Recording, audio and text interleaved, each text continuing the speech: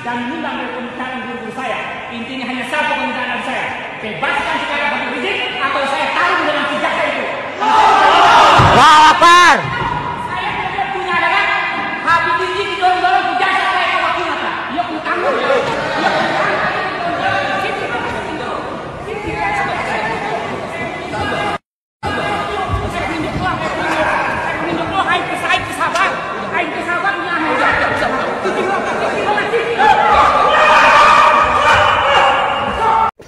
Assalamualaikum warahmatullahi wabarakatuh.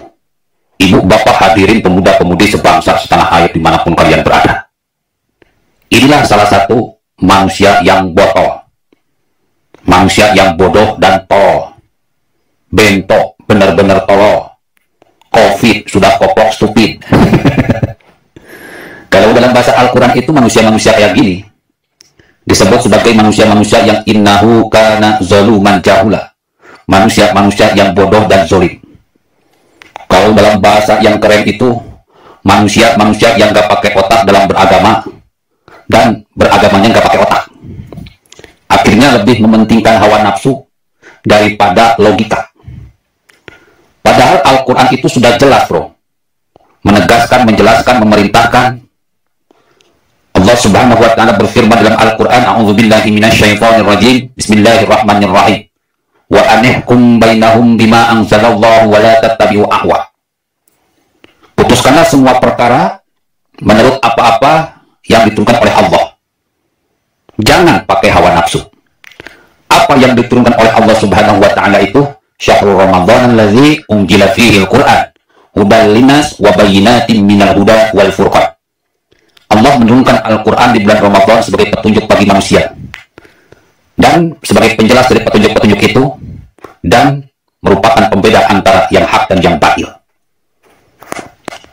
Rizik Syihab CS ini termasuk ke dalam kelompok manusia-manusia yang beragama gak pakai otak dan tidak berotak dalam beragama. Akhirnya kelakuannya lebih binatang daripada binatang, lebih setan daripada setan, lebih iblis daripada iblis karena lebih menggunakan hawa nafsu daripada logika Ini merupakan strategi atau memang mereka-mereka ini memang sudah tidak waras sehingga perintah Allah saja diabaikan. Dalam Al-Quran sudah jelas mas bro. Ya ayyuhalladzina amanu hai orang-orang yang beriman. Ista'in bisabri wassalat jadikanlah sabar dan sholat itu sebagai penolongmu. Innallaha ma'a sabirin Allah beserta orang-orang yang sabar. Artinya Allah tidak beserta orang-orang yang mengedepankan hawa nafsu. Cacian, makian, ngancam-ngancam masalah neraka. Orang yang tidak patuh sama Rizik Syihab itu masuk neraka. Orang yang tidak patuh sama Rizik Syihab itu nanti di akhirat itu akan diacuhkan oleh Rasulullah Shallallahu Alaihi Wasallam. Maka, maksud, maka emosi dikedepankan, hawa nafsu dikedepankan, ancaman dikedepankan. Mereka lupa bahwa mereka ini sedang menelanjangi diri mereka sendiri, lalu mengotori tubuh mereka dengan pahit. Dan akhirnya tai. Tidak ada orang yang simpati. Seberapa hebat pendukung Rizik Sihab, membagus-baguskan Rizik Sihab, membela Rizik Sihab mati-matian, sudah telat mas bro. Rekam jejaknya sudah hitam di mata rakyat Indonesia, di mata umat Islam. Fi maradun alim yakdzibun. Di hati mereka ada penyakit, kalau tambahkan penyakitnya sehingga kebusukannya terungkap, terkuak ke hadapan rakyat Indonesia, ke hadapan umat manusia, ke hadapan umat Islam, ke hadapan Allah Subhanahu wa taala dan Rasulullah sallallahu alaihi wasallam. Sebagai azab yang pedih karena mereka berdusta menjual agama ini hanya demi kepentingan perutnya dan kemaluannya. Ibu bapak hadirin pemuda-pemudi sebangsa setanah air. Berbagai macam sinetron yang membuat kita tertawa terbahak-bahak beberapa hari terakhir ini. Berbagai macam atraksi topeng monyet membuat kita kegelian menyaksikan mereka yang katanya paling islami, pemilik sorga, tapi bertindak jauh dari akhlak-akhlak manusia penghuni sorga.